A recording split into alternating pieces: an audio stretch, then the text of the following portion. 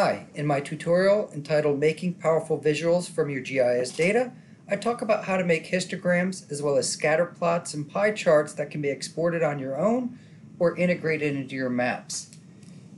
You can see what I'm looking at here. I've got a GIS data layer of tracts through, through my uh, ArcGIS projects, and I have a couple of attributes. I have ACS total population, ACS total households. In this tutorial, I'm going to talk about how to export screenshots from your ArcGIS or perhaps a web page and integrate those into some of your work. What I'm looking at here is just ACS population. This is, stands for the American Community Survey. I've got 119 census tracts in Guilford County. You can see some are relatively small in size, some are much larger. Since since census tracts try to encapsulate approximately the same population, so essentially the size of these census tracts is going to be a function of both population and population density. What I want to look at here is I can right mouse click and you can see that I can do sort descending, sort ascending, advanced sorting, summarize, which wouldn't be useful, and I can look at statistics. When I look at the statistics here, I see a very rudimentary histogram right here. It doesn't have a, have a, a lot of uh, things that we can change on it. That's why we can make powerful visuals by going through our view and reports. Over here, I also have a count.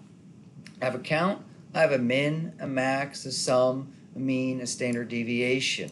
And what I want to talk to in this in this particular tutorial is how I can just take a screenshot of this and bring this into a PowerPoint presentation or a Word document.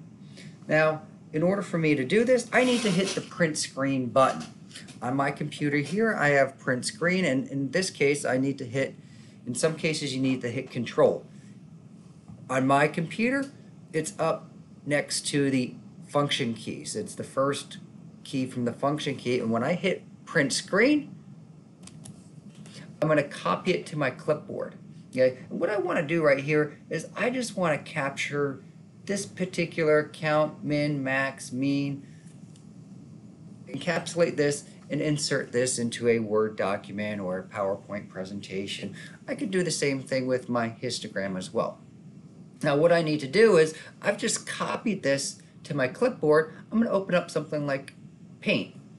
I have my Paint application right here. And I'm going to hit Control V, which is paste. Okay. And actually you can see what I have here. These are you know, these are all the screens that I have right here, but you can see this particular screen that I have in the project that I'm working off of. And now from here, I can go to select and just select the particular part of the screen that I want to do. Okay, so you can see that I've highlighted this. I'm going to hit Control C, and now I can bring in a Word document or a PowerPoint presentation or wherever I want to insert it, and I can insert my graph or whatever I want. And I'm going to hit Control V. And then I've inserted that particular screenshot right there. Okay. So this is fairly simple to do. You typically want something like Paint where you can insert it onto the canvas. I'm going to hit File, New, Don't Save. Okay, because all I did was just use it as a screenshot here. So now something that was sitting on the screen I've placed into a Word document, or I can put this just as easily into a PowerPoint presentation or whatnot. We can do the same type of thing for web pages here. Okay.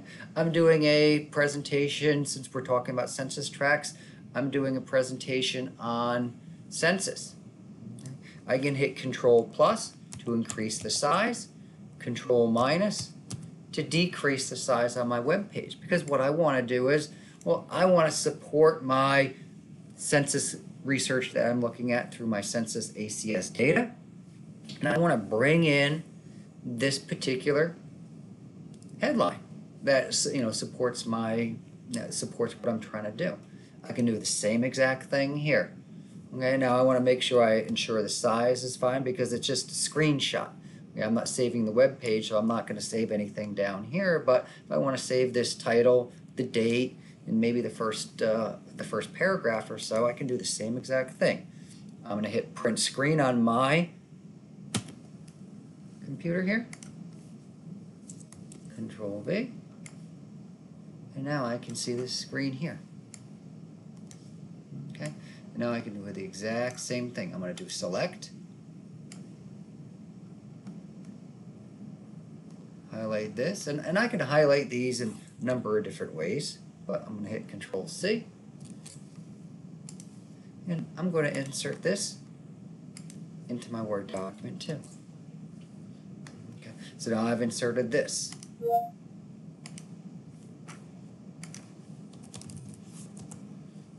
I can do the same exact thing. PowerPoint presentation. I can insert this into my PowerPoint presentation or whatever I'm trying to do. Okay.